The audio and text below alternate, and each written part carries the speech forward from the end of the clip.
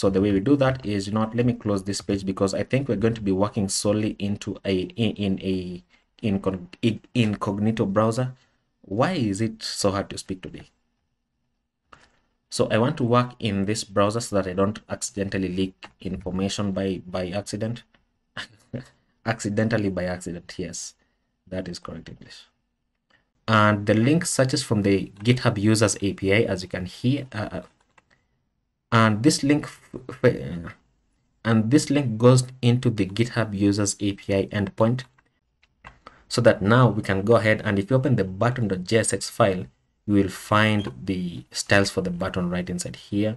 You will find even the variants that we can the default variants the the, the and you will even find the variants that we are able to use for each button.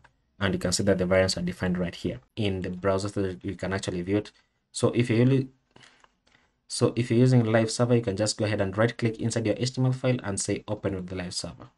And then inside our sign up page let's go and remove this div from here so that we don't have conflicting conflicting styles. Can't speak